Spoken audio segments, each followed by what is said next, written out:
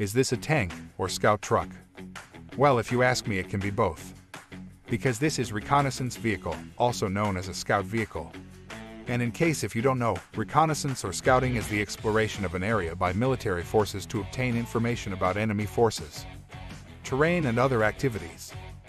Both tracked and wheeled reconnaissance vehicles exist. In some nations, light tanks such as United States M551 Sheridan and French Army's AMX-13 have also been used for reconnaissance. And the main reason that makes it both tank and scout vehicle are their armament ranges from a medium machine gun to a large cannon. Modern examples are often fitted with anti-tank guided missiles and a wide range of sensors. Reconnaissance vehicles are designed with several philosophies, like scout cars used for passive reconnaissance with a low profile and lightly armored to maximize mobility. So do I make sense by calling it a hybrid? If yes, then do subscribe.